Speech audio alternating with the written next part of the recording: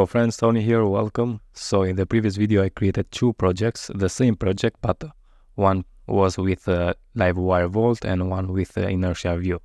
And I had a comment, what, what about React, which is the same as Vue, but I have created a project, the same project with React, and I'm going to show you the code. So here is the React. Let's also compare with Vue. We have the controller, which is the same I have just copied this controller and paste on the React. Here is the React. If I open the post controller here, we have the same thing. Okay, also we have the request, the same re request as with Vue.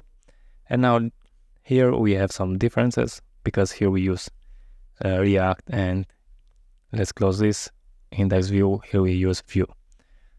On the Vue we define props like this. On React, we define like this. Uh, here we created a constant for post and edit mode. Also here I have created a single post named and edit mode.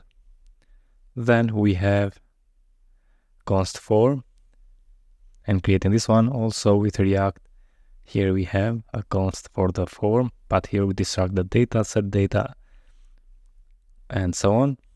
And then we have the store, edit, uh, update, and destroy methods. The same we have here, so store, edit, update, and destroy.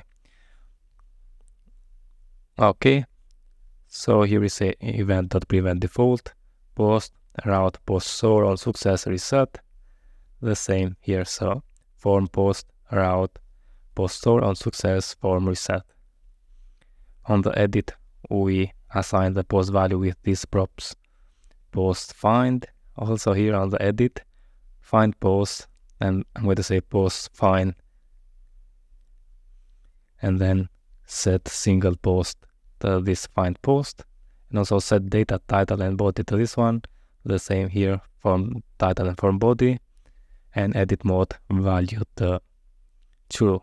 Okay so here we say set edit mode to true then we have the update on success reset and set edit mode to false.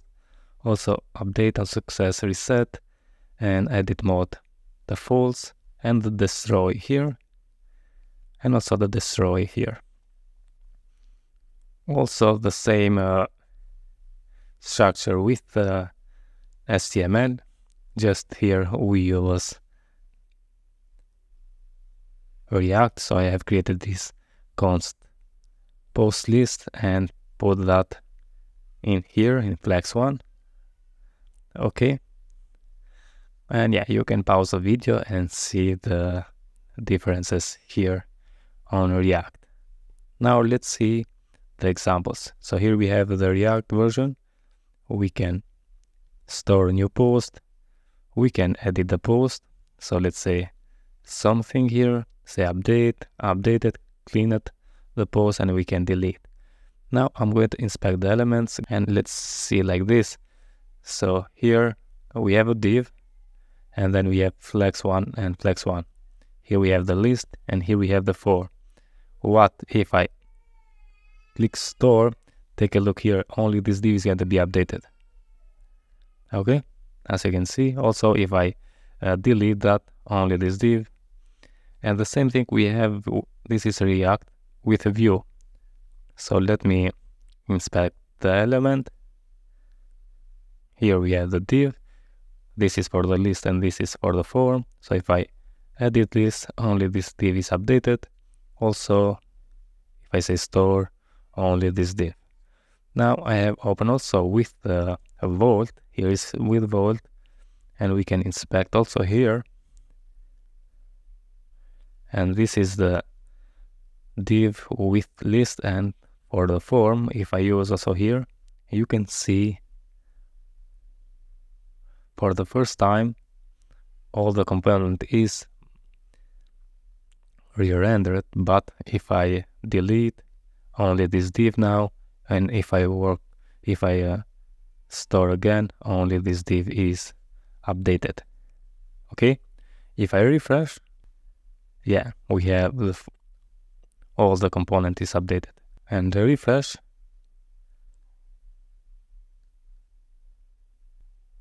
Say store. Here only this uh, this div is going to be updated. So I'm going to zoom it out a little bit just to see the all the HTML. And if I refresh and let's say store again, as you can see, only this div the same is with react also. So let's refresh this and create store only this div okay. Now uh, my thoughts about choosing uh, either react vue or Volt is if you don't know Vue or React, you are okay with uh, Volt, which is uh, Livewire. Also, you need to learn Livewire there, but Livewire is like a Laravel, so you don't need much time to understand.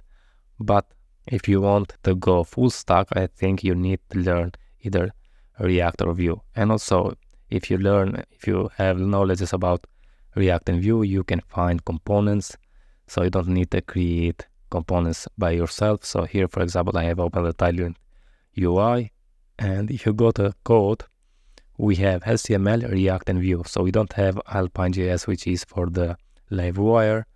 Also the headless UI, we have only the React and Vue. And for React also we have this shadcn UI, you have more component libraries. Also for Vue you have some component libraries. But for Alpine.js, uh, you don't have uh, too much choices. Okay, so if you want to be a full stack developer, I think you need to learn either Or Vue. Also, you can create a single page application without uh, Laravel. So, so this is a bonus for you. Okay friends, that's it all about this video, what I wanted to show you and if you like such a videos don't forget to subscribe to my channel, like the video, share with your friends and see you in the next one. All the best, thank you very much.